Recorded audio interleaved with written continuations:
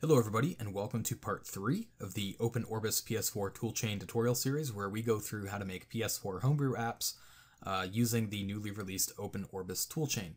So, in the first video we set up the toolchain and then the second one we got down project creation and in this video we're going to be creating a little test application that's going to render 2D PNGs to the screen and then in the next video we're going to be continuing that sample and actually doing audio as well.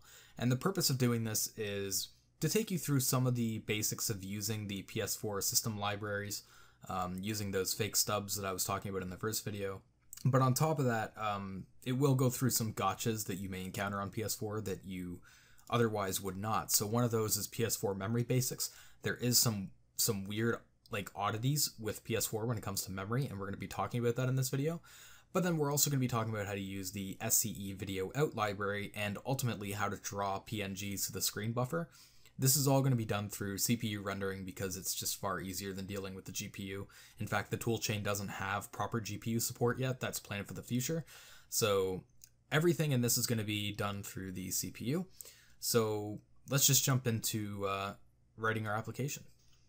Okay, so in the interest of time, I've decided to just open up the uh, PNG decode sample I was originally going to like write it out and do a more full tutorial, but honestly, that would probably take me like over half an hour, and um, I think it would be a little bit dry. But the reason I still want to do this video is I want to point out some some interesting things here that are PS4 gotchas and uh, why we're doing what we're doing in this sample. So the graphics.c++ and uh, h uh, header file, these are basically doing some of the under the hood stuff for uh, drawing to the 2D frame buffer. Most of it is pretty boring, honestly. It's just you know some math and drawing pix like uh, provides a helper function for drawing pixels and rectangles and allocating the frame buffers. There's nothing super interesting there but um, you can definitely check out that file. I'm not really going to be covering it in this video though. Mainly i'm going to be covering main here. And i'm going to be going through um, each line of code here basically bit by bit and explaining what it does First of all, uh, the includes we're gonna need stdio obviously for like printf and stuff like that. String.h we use for memset and uh, some of those you know buffer related functions. Errno uh, that way we can get errors if things fail. We want to know why. So this stuff is fairly benign. It's just the dimensions. We're going to be using 19. Uh, you know, we're going to be doing 1080p. Uh, so First up is the draw PNG function, and this is a helper function that takes an image path and a set of starting coordinates, and it will draw, uh, it will first decode that image, and then it will draw that image to the screen based on those coordinates. So those coordinates are basically the top left of where the image starts drawing. That's the anchor point. We actually use a library here. We use the um, STB, uh, Nothings STB library. This library is really awesome because it's a header only library. Uh, it doesn't have any dependencies. It's freestanding. So um, I just found it really helpful and it handles all the decoding. And you can decode like multiple different images. You don't have to do PNGs. It, it supports multiple different types. So um, I'd recommend checking out that uh, you know little header library if you're interested in writing some some homebrew apps and you don't want to deal with all of that yourself. And trust me, you probably don't. Um, so yeah, that header is there. Uh, we use that in this sample because it makes life far easier than it otherwise could be. And then um, basically what that function does, stbi load, is it will take the uh, the image path, the width, the height, the depth, and uh, the uh, mode, which we set to RGB alpha, and it will decode that image into a bitmap. And then we can just iterate that bitmap and draw the pixels to the screen buffer however we want, which is exactly what we do. So you can see we have the for loops right here, y post, x post, and we're just drawing uh, row by row, column by column. That's basically what's happening here. So we're taking the color, we're decoding it, and then we're drawing that pixel to the screen. It's very simple. This is like your the most basic 2D drawing you can really do. Um, if we were doing GPU stuff, this would probably be a lot more complicated, but alas, we're not. We're doing CPU, so it's a little bit easy. Now that we've drawn to the screen, we no longer need the actual image bitmap, and that image bitmap is heap allocated. So at the bottom, we just uh, call the free function. He provides like a little wrapper, so you can just call that free function on the image, and you're good to go. Okay, getting down into main. So Uh, this this function does a lot, um, but it's mainly setting up handles. So for doing anything important on the PS4, you're gonna need to use handles. And this is pretty much the case everywhere actually. If you're gonna want to draw to the screen, you need to open up a video handle. If you're gonna be playing audio, you need to open up an audio handle, and so on and so on. Everything functions through handles, especially on Linux. So that's how it works on the PS4 as well. So the libraries actually provide functions to allow you to open uh, handles, and you can set various modes on them and stuff. We're not really interested in those. We basically open up a video out handle with the main user on the main bus, and then we just ignore the other parameters that are provided here. If you go to the declaration, you can see some of the headers here that we have in the toolchain. Now you'll notice quite a few of these functions do not have uh, full prototypes because you can guarantee these functions are not all, you know, zero parameters. They definitely take parameters. And this is where I was kind of saying earlier in the series, we would uh, absolutely love some help in this area uh, because we basically have to reverse these. So it, there's a lot of work into getting these prototypes. So if there's something here that you need or come across and you reverse it, uh, we'd love it if you could add it to the tool chain, or if you just want to help and contribute out. This is one area we could use help. But the ones that we use are reverse right here. And uh, the video out open here is the prototype. Generally, with the prototypes, we don't use names because um, we don't always know them. It's a lot easier to reverse just the types because that's all you really need generally when you're compiling, you just need the types and the width of what you're passing to be correct. So in these headers, we just have the types. Maybe at some point there will be names in here, but for the most part, it's just types. Okay, so we opened up a video handle. Next, we have to create a queue for flip events. Now, this is used primarily for optimization, I believe. So basically, you flip between uh, buffers being, like, um, work on one buffer while another buffer is being shown. If that fails, you have to clean up your handles um, you could try to trust the process destructor to do it, but on the PS4, you don't really want to trust anything to anything because some of their destructors are really messed up and they do not clean up properly. And if you don't clean up handles, sometimes you could end up permanently tainting the state of the system. It's really annoying. So I'd recommend, if possible, always try to make sure you clean up handles before you return out or anything like that. So then we just set the dimensions that just basically, you know, sets some stuff up in the graphics header we were looking at earlier. After that, we allocate direct memory for the frame buffers for the CPU to draw to the screen. Now, here's where I'm going to get into one of the gotchas with the PS4. You may ask, why don't we just allocate the frame buffers in the heap? There's two answers for this. For one, the PS4 heap that is provided to Userland is actually not that big. The system has, I think, 8 gigs of RAM, and I think at least two of those are reserved for the kernel. So you're left with maybe 6 gigs, and that's probably not even because you still need RAM for the system process and stuff like that. Overall, you're probably left with 4 or 5 gigabytes of RAM for your games. Now, most of that is direct memory. That is not even um, heap memory. So you'll find that with the toolchain, the way we have it set up, I think you can use about 700 or 800 megabytes of heap memory. By default, um, you know, regular PS4 games, they can only use like up to 10 megs of heap memory. It is really restricted. So that's one reason. Your heap is kind of restricted on the PS4.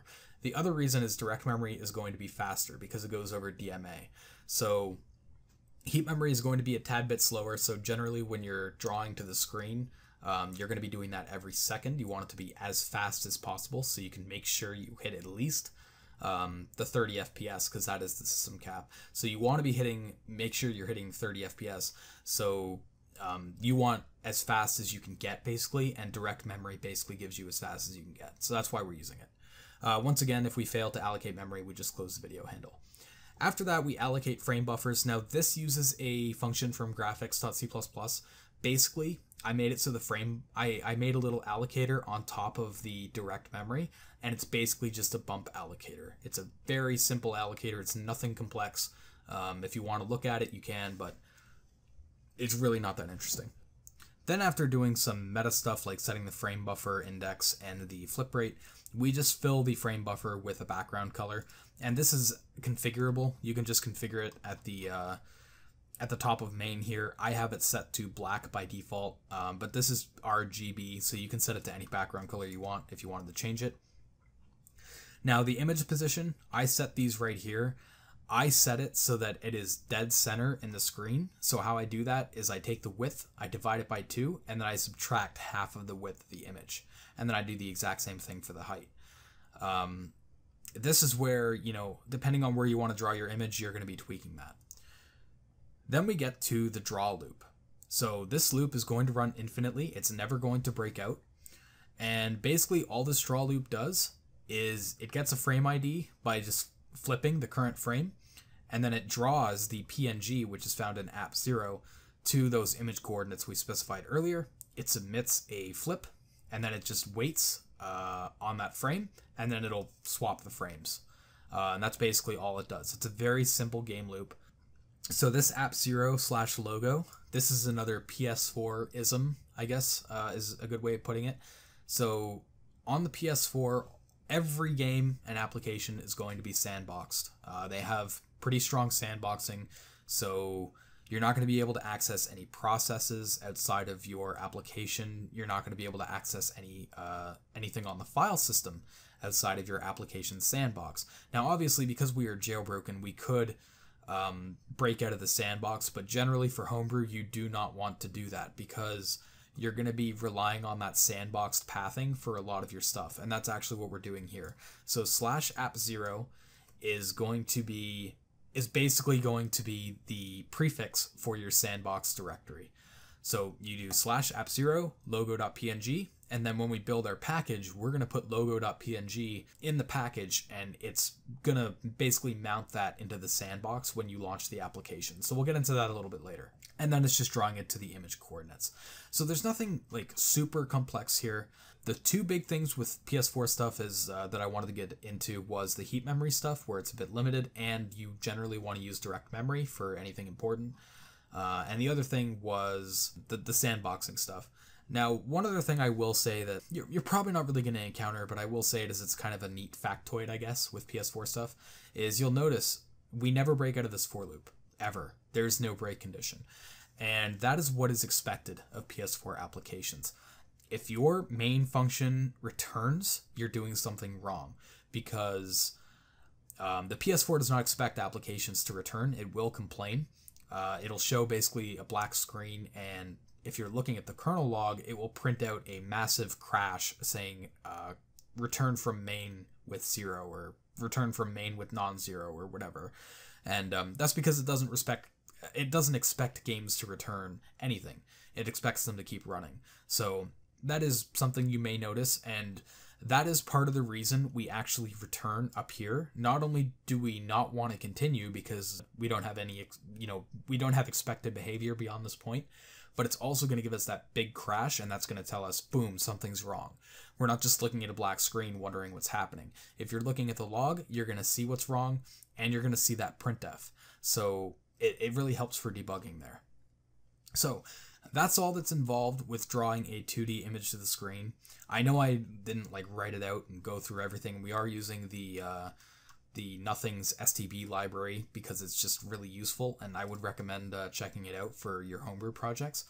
Um, but I just wanted to kind of step through the sample here and show you why we're doing some of the things we're doing in here, and uh, and yeah. So in the next video, we're going to be going through the audio sample, and uh, we're gonna kind of go through. It's it's actually a little bit simpler than the PNG decoding one because we actually use the STB library again for that and uh, we don't have to draw to a frame buffer obviously for audio.